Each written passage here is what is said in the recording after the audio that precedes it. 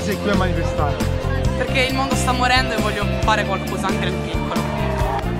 Sono qua a manifestare perché questo mondo è sbagliato e ne vorremmo uno migliore.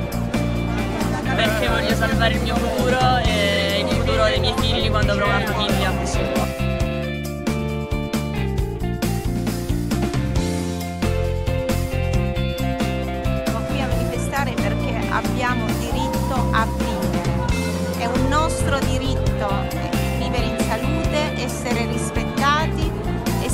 clima sta cambiando non è per caso.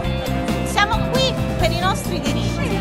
È, è, la, è la cosa più importante manifestare per, per i propri diritti perché significa che ancora abbiamo voce. Una cosa importante, quante le scuole dovrebbero sapere quanto sia importante questa manifestazione. È la mia prima, io non vado a manifestare a qualsiasi cosa, ma quando si parla di un argomento così importante che da qui a dieci anni ci riguarderà in maniera molto più insistente, allora bisogna essere partecipi e venire in piazza. Manifesto perché non c'è nessun pianeta B.